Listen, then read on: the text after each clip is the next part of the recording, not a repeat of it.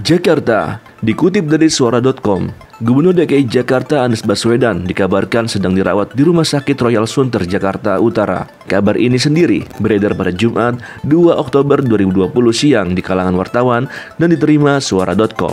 Mengenai hal ini, Wakil Ketua DPRD DKI Jakarta Muhammad Taufik membantahkan. Ia menyebut informasi yang beredar itu adalah berita bohong atau hoax.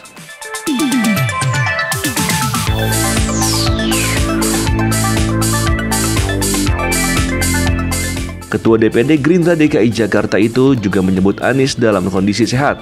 Ia mengaku sempat berkomunikasi dengannya hari ini.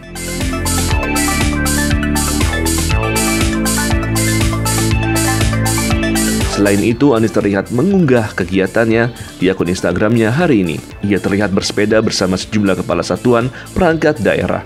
Di antaranya adalah Kepala Dinas Pertamanan dan Hutan Kota Suji Marsitawati, Kepala Dinas Perhubungan Syafrin Liputo, dan Kepala Dinas Bina Marga Hari Nugroho, Anis dan mereka terlihat meninjau kawasan bundaran Hotel Indonesia, Jakarta Pusat.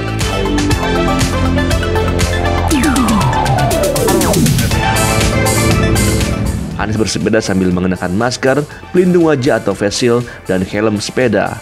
Ia juga sempat berbincang dengan anak buahnya itu.